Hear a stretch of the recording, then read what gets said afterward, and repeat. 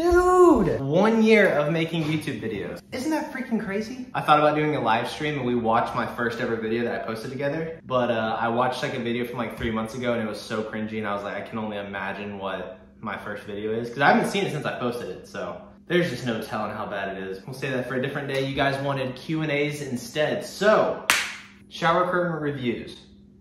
What's your most forehand friendly disc for beginners in your opinion? How I started off, I had a Discraft Flick, board flat, crazy overstable, and I would throw everything like a baseball. I loved that because I knew no matter how I threw it, it was always going right. Kept doing that until I got my snap down, and then from there I kind of started kind of gradually getting less and less beefier, bringing my elbow in, and I just kind of I learned that way. Zach Mead, best backhand tip for us that are trash at the backhands. So we have forehand and backhand now. Uh, I literally just kept on throwing backhands until I kind of got decent at it and then I started recording myself and critiquing myself. So I guess the best tip, honestly, is record yourself, see what you're doing, and then you can compare that to whoever you're influenced by, whether it be Simon, Kevin, Paul. OVH, can you agree with this statement? The Zone OS is a great disc you love to have in the bag, but happy if you don't. I would bag a flip flop before I bag his own OS. I'm sorry, I just, all this like crazy overstable stuff, dude, just does not make any sense to me. I don't, I don't get it. Uh, Dan Jones, any hit, dude, man came with questions. Any hidden talents? Nah, they're all hidden. Nah, I'm just kidding. I can, uh, what's a hidden talent I got? I can jump over my leg and I can juggle. I can juggle. You ready for this?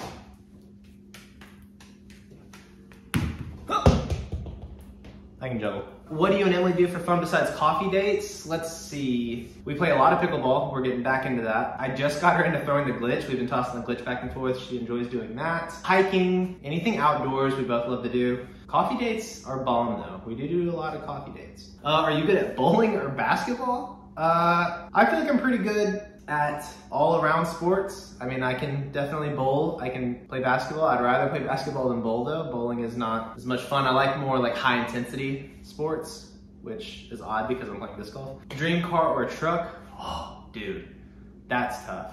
My first ever car I had was a Jeep Cherokee XJ. It's like a 99. Freaking love that thing and I want to get another one so bad. But I think I'm going to get like a Toyota Tacoma or a Tundra, I think. There is talks of me getting like a like an RV that I carry behind, so that's it for the questions. Let's jump into the vlog. I don't really have a plan for today's vlog, so I'm going to buy a disc from the store. Here in this bike shop, they've got a little tiny disc golf selection, so let's see what we can find. I'm gonna keep it a stack with you though.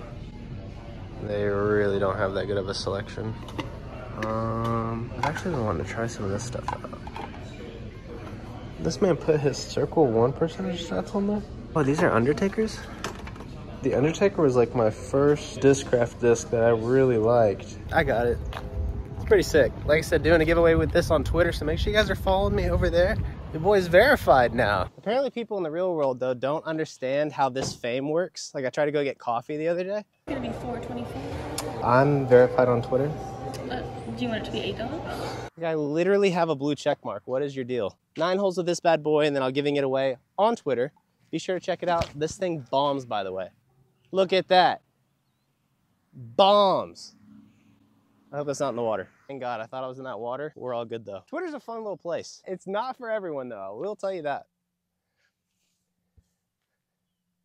Like if you can handle a bunch of very ignorant, toxic, hateful people, then you should definitely check out Twitter and give me a follow. But if that kind of stuff easily offends you, don't do it.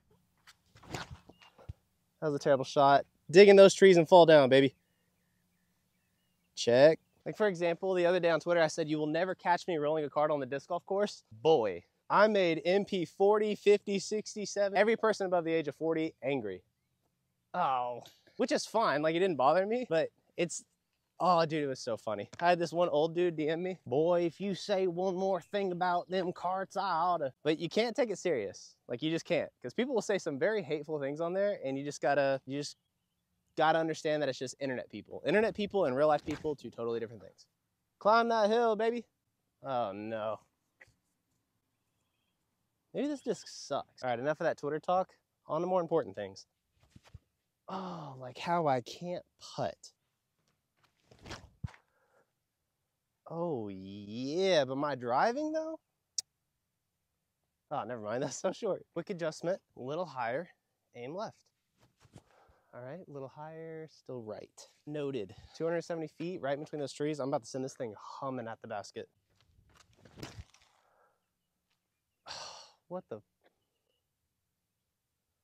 Just a terrible shot. Dude, I'm literally inside the circle. I thought I was like 70 long.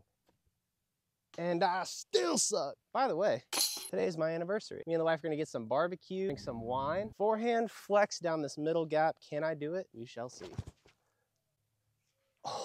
Oh, yes, sir. I think it's on the pole. That's crazy. All right, I'm not gonna lie to you. I literally thought I was right here, but I'm right here. Still not bad. Like a 15 footer. My arch nemesis, to be honest. All right, you guys will be able to win this on Twitter if I can survive this next hole. We've been getting a lot of rain, so this water is up to the rim. Oh, what in the world, Nate? I mean, it's safe, but dang, I hate that. That was so anticlimactic. Anticlimactic? Hey, I'll throw this though. How about that? Turn, turn, turn, turn, turn, turn, turn, turn, turn. Hmm. That was a little better. The putter was actually pretty close. The Undertaker, I freaking bailed out. I wussied out. I apologize. I think this is like 60 feet. I ain't scared. Oh, all right, you guys can kind of see the basket. I can't from the tee pad. Lucky you guys. But just a nice stock hyzer 310 feet. That actually looks pretty good. I don't want to get in the way. Did it go in? Hey, these little 15, 20 footers, money right now. All right, let's end this on a banger. Get the birdie on this par four and then go eat some BBQ. See ya. Meet you at the barbecue place. Basket's hiding behind the tree that's hiding behind the electrical box. For those of you who are new to the channel. For those of you who are some OGs, you know exactly where the basket's at. No way. This was supposed to be a banger of a birdie on a par four. This is not going as planned. Oh, whatever, dude. Hey, really quick, this is me jumping over my leg. You ready? Can I go backwards? no, I'm scared.